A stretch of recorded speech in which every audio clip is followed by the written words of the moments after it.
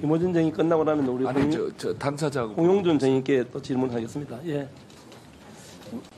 우리, 우리 김호진 정의는 2022년 윤석열 대통령 집무실 간접 이전 공사를 총괄했던 관리 비서관 맞으시죠?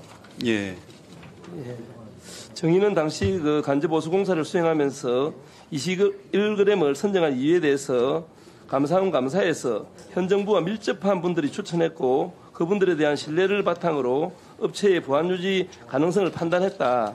다만 구체적으로 누가 21g을 추천했는지 기억이 나지 않는다고 진술을 했죠.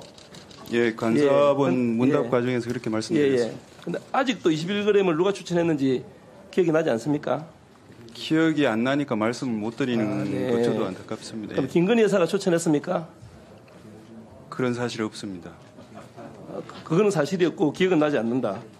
정말 아니, 이상하네요. 그 제가 조금 설명을 드려도 되겠습니까? 짧게 이야기하세요. 그 당시 그 인수위 초기였기 때문에 저희 TF에서 하는 일이 굉장히 많았습니다. 그 집무실 이전도 있었지만 관저 부분은 그 당시 저희 TF에서 담당하고 있는 일 중에 상당히 그 후순위 일이었습니다. 예, 그래, 아, 중요한 일이긴? 했지만 예, 그 정도까지 이야기하십시오. 예. 중요한 일이긴 했지만 저희가 그 당시에는 그 집무실 이전, 용산에 있는 집무실 이전이 더 급선무였습니다. 네, 그 그래서 정도까지 답, 답변 예, 저희가 듣겠습니다. 그 당시 그런 그러니까 요- 요 정도까지 답변 뭐- 듣겠습니다. 예, 예.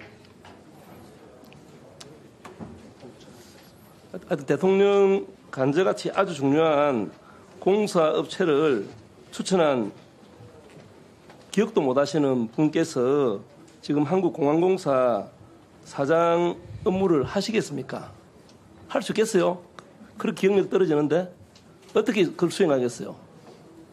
아니 몇 년 지난 것도 아니고 수년, 10년, 20년 된 기억도 아니고 그 자리에서 가장 어찌 보면 중요했던 일인데 그건 제가 지금 말씀드릴 수 있는 내용은 아닌 것 같습니다.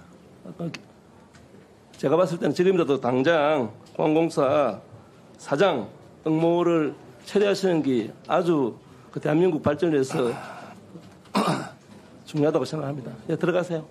네.